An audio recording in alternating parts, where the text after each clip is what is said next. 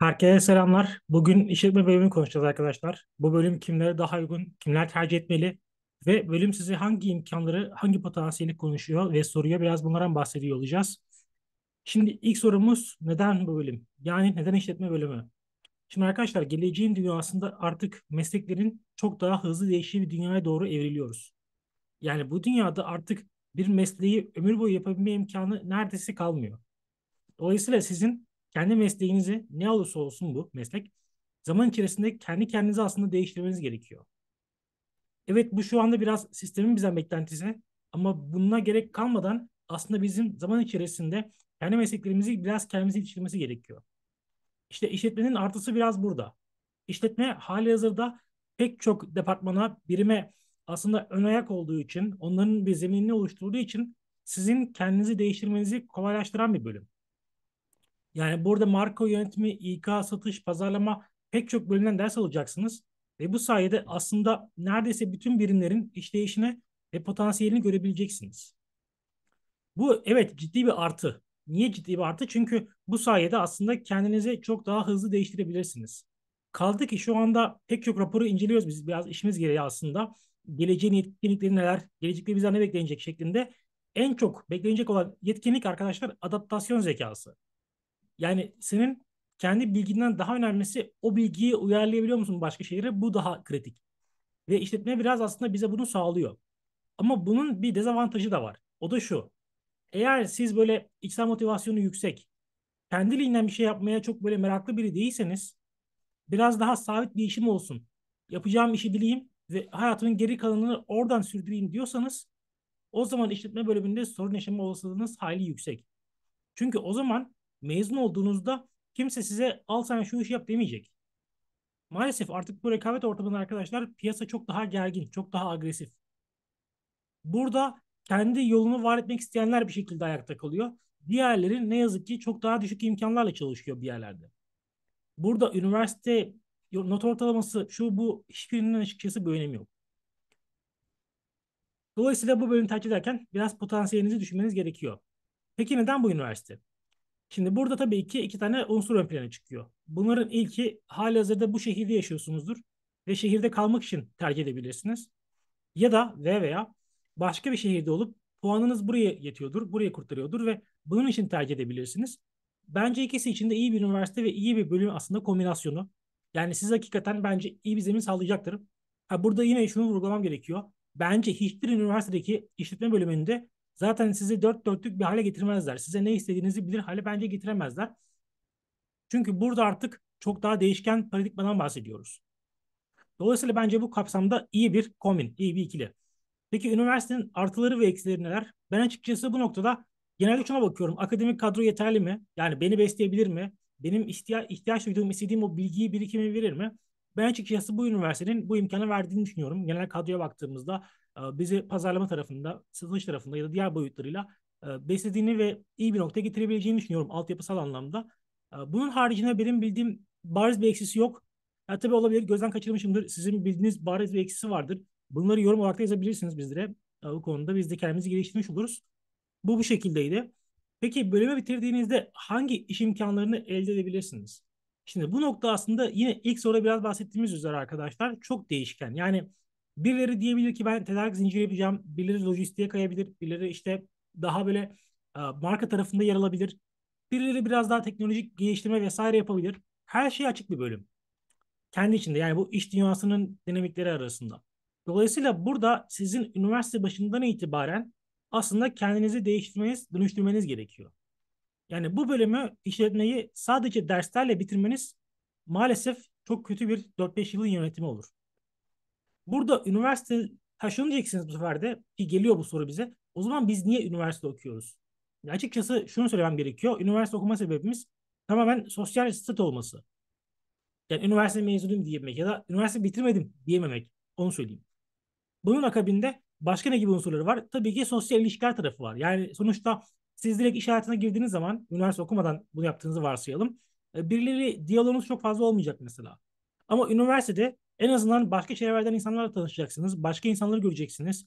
Ve oradaki işte kulüp faaliyetleri vesaire buna, şunlar bunlar derken aslında kendinize bir alan kurmuş olacaksınız. Bunun için de ben açıkçası önemli olduğunu düşünüyorum. üniversite okumanın. Ama yine burada bir işte eşik noktası var. Yani üniversite evet önemlidir, kıymetlidir ama her şey değildir arkadaşlar. Üniversite size bir meslek vermeyecek. İşletme bölümünden bunu bahsediyorum. Üniversite zaten artık çoğu kişiye bir meslek vermiyor. Yani eğitim fakültesindeki öğrenciler bile artık mümkün olduğunca başka işler yapmayı düşünüyorlar yavaş yavaş. Çünkü bu kadar rekabet ortamında sizin bir işte var olabilmeniz çok kolay değil. Peki ne yapmak lazım? Yani ben iş imkanlarını genişletmek istiyorsam işletme bölümünde nasıl ilerleyebilirim? Arkadaşlar üniversite başından itibaren yapmanız gereken şey bambaşka alanlarla ilgili gönüllü çalışmalar yapmak. Birazdan buna değineceğiz bir sonraki sorumuzda. Hatta yavaşça geçelim oraya. Staj olanakları neler kısmında. Biraz bu iki soruyu birbirine bağlayalım. Şimdi zorunlu staj bildiğim kadarıyla bu üniversitede yok. Ve kaldı ki üniversitelerin çoğunda yok. Çünkü işletme bölümü zaten hani buna çok müsait bir yapı değil. Ama bizim hep söylediğimiz bir şey var ki gönüllü çalışmaları merkeze alın arkadaşlar. Özellikle ilk birkaç yıl, bir iki yıl. Çünkü bu süreçler herkesin daha böyle sınav sonrası stresini attığı, daha sosyalleşme merkezli olduğu, üniversite adaptasyonu vesaire süreçleriyle geçirdiği bir dönemdir. Ama bu süreçte evet bakın bunlar olmasın demiyorum. Tabii ki olacak. Sosyal işte ilişkiler belki kulüp vesaire bunlar yer alın tabii ki. Ama bunun akabinde mutlaka bir STK olabilir, sosyal sorumluluk projeleri, e, sosyal girişimcilik örnekleri, sosyal inovasyon projeleri, bunun akabinde ajanslar vesaire mutlaka bir yerlerde var olmaya çalışın arkadaşlar. Buradaki beklentim şey değil. Yani kadrolu gibi çalışmak ya da işte bütün gün mesai yapmak vesaireden bahsetmiyorum. Zaten bunun için çok uygun bir yapı olmayacaktır üniversite dönemi. Ama en azından proje bazlı belli dönemlerde haftada birkaç saat bile olsa bu şekilde var olabileceğiniz bir alan olsun arkadaşlar. Ha burada da şu bize geri bildirim olarak gelebiliyor. Yani ben bu şehirdeyken yani işte bu tempoyla ayak uyduramıyorum e, böyle bir düzene ya da işte bu tarz gönüllü çalışmaları nasıl bulacağım bilmiyorum vesaire. Bunlar da geliyor bize. Şöyle bir şey var arkadaşlar. Yani nerede olduğunuza bağımsız olarak bunu söylüyorum. Nerede yaşadığınızdan bağımsız olarak söylüyorum. Özellikle pandemi sonrası dönemde artık bütün işletmeler bir şekilde zaten artık buna adapte oldular. Yani bu online çalışmaya, uzaktan çalışmaya. Dolayısıyla siz eğer kendinize gerçekten bir yetenek seti ayarlarsanız, bir yetenek seti iddia ederseniz karşı tarafa, bunu vaat ederseniz emin olun ki bir takım şirketlerin bunu ciddiye aldığını göreceksiniz. Çünkü zaten sizin orada beklentiniz yok. İlk aşamada maaş gibi bir derdimiz olmayacak. İlk aşamadaki tek beklentimiz sadece kendimizi o karşı tarafa ispat edebilmek. Çünkü zamanla zaten bunun yatırımını alacağız. Bunu şöyle düşünün arkadaşlar üniversite döneminde. Siz bir yatırımcısınız tamam mı? Elinizde de zaman gibi bir yatırım aracı var. Önemli olan bu yatırım aracının nerelere dağıttığın. ben diyorum ki bu yatırım araçları arasında ya bir kısmını da gönüllü çalışmalara ayır. Portföyünün bir kısmını bak tamamını demiyorum. Bir kısmını. Ha, şunu diyebilirsin. Ben işte kulüplere de yatırım yapmak istiyorum. Kulüpler benim için güvenli liman mesela. Benim işte dolarım altınım orası diyeceksin mesela. Olabilir hiç sıkıntı yok. Oraya da yatır mesela. Onu da yap. Kulüplerde yer al, işte görev al, yer al vesaire. Öte yandan mesela diyebilirsin ki ben derse çalışacağım. Benim güvenli limanım burası. Ben bütün gün ders yapacağım. İşte vize finallerden yüksek not alacağım. Çünkü burası benim yatırımım olacak. Tamam buna da okey bir şey demiyorum. Buna da bir yatırım yapabilirsin. Ama zaman içerisinde göreceksin ki özellikle ders çalışmak biraz maalesef ölü bir yatırım. Çünkü piyasayla artık iş dünyasıyla arkadaşlar akademi arasındaki uçurum giderek daha büyük hale geliyor. Daha büyük çıkmaza geliyor. Çünkü karşılamıyor o beklentiyi üniversitedeki yapı.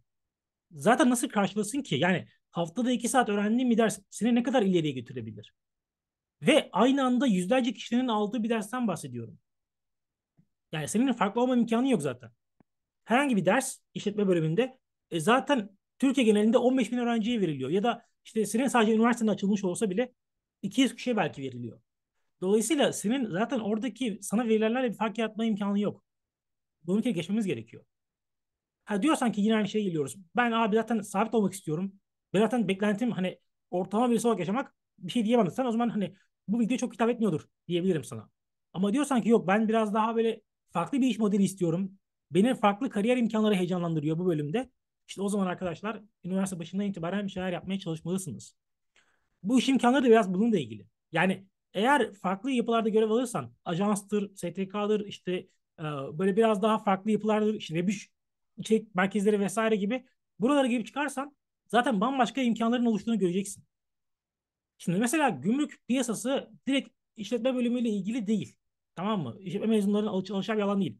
Ama sen girersin mesela bir blockchain araştırma merkezine. Orada bakarsın blockchain ve gerçekten gümrük dünyası arasında büyük bir ilişki var. O zaman sen gümrük tarafında fark yaratan biri hale gelebilirsin.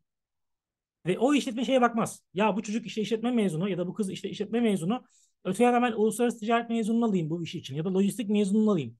Kimse bunu umursamaz bunu söyleyeyim size. Ha şunu diyeceksiniz işletme uluslararası ticaret yakın. Hayır hiç alakası yok. Sen bu çalışmaları yapan bir kimya mühendisi olsan yine seni alırlar. Mevzu bu. Son kısım. Peki ben buradan ne kadar para kazanacağım? Yani ben bu bölümü bitirdiğimde elime nasıl bir para geçecek? Şimdi bu da önceki iki sorunun devamı arkadaşlar. Hepsi aslında birbirinin bir e, sırası niteliğinde. Eğer siz üniversite başından itibaren bu konulara kafa yoran, bir takım çalışmalar yapan biri olursanız zaten 3. ya da 4. sınıfta iş teklifleri almaya başlayacaksınız. Ve bu iş teklifleri genellikle yarı zamanlı çalışacağınız, belki proje bazlı çalışacağınız ve aylık asgari ücret seviyesinde maaş alacağınız bir teklif olacak. Bunun akabinde de mezun olduktan sonra muhtemelen asgari ücretin bir buçuk katı ya da işte iki katına yakın bir maaşla iş hayatına girmiş olacaksınız. Bu tempoyla. Ha peki genelde insanlar böyle mi yaparlar? Hayır. Genellikle üniversite öğrencileri, mezunları bunu yapmazlar. Çünkü bu biraz daha çaba gerektiren bir süreç. Yani bir yandan kampüse giderken işte ders aralarında, çıkışlarda bir şeylerle uğraşmak, bir takım işte insanlarla mailleşmek vesaire herkesin uğraşmak istediği ya da uğraştığı bir şey değil. Dolayısıyla bu %15'in yaptığı bir şey diyeyim. %20'nin yaptığı bir şey diyeyim. Geri kalan arkadaşlar da maalesef tabii yine ortalamadan bahsediyorum. Daha başka örnekler hariç yani ki ailesinin bir dükkanı vardır, bir işte mağazası vardır ya da işte bir takım tanıdıkları vardır. Bunları hariç diyorum. Onları ben zaten bilemem bir şey diyemem. Ama ortalama bir yeni mezun içinde maalesef bunları yapmadığında daha böyle asgari ücret seviyesinde maaşla işe başlar. Yani kendisini geliştirmiş bir insana göre aralarında 2-3 yıllık bir fark oluşur. Bu fark maaş farkından ziyade aslında kendini tanımakla ilgili de bir fark arkadaşlar. Yani maaşı belki bir şekilde kapatırsın yine. Fazla mesai yaparsın. Şu da bu kapanır birkaç yıl sonra. Ama 23 yaşına gelmiş birisi kendisini tanımış, çözmüş, bu yolda giden birisi ise onun kendi yolunda ilerleme hızı çok daha başka olacak. Ama 23 yaşına gelmiş ve hala kendini tanımakla ilgili bir şey yapmamış birinden bahsedersek o kişinin arkadaşlar önündeki 3-4 yılı maalesef çok zorlu geçecek. Sadece zor işler çalışmak, sadece az para kazanmak değil. Bunlar işin daha kaftanın görünen yüzü. Görünmeyen yüzü ise o sürecin genel hayatın kendisine çok daha zorlu gelmesi, mental bir yıpranma yaşaması. Sabah çalışırken akşam ben ne iş yapacağım, ben nereye aitim, nasıl bir dünya istiyorumu kendini sorgulamaya çalışması. Üniversitede bu daha kolay, mezun olduktan sonra çok daha zor. Benim anlatacaklarım genel olarak bu şekilde arkadaşlar. Ee, bunların haricinde illaki eksiklerimiz olabilir, yanıtlamadıklarımız olabilir. Bunları bize yorum olarak yazabilirsiniz. Belki onları da o şekilde yorumlayabiliriz, cevaplayabiliriz.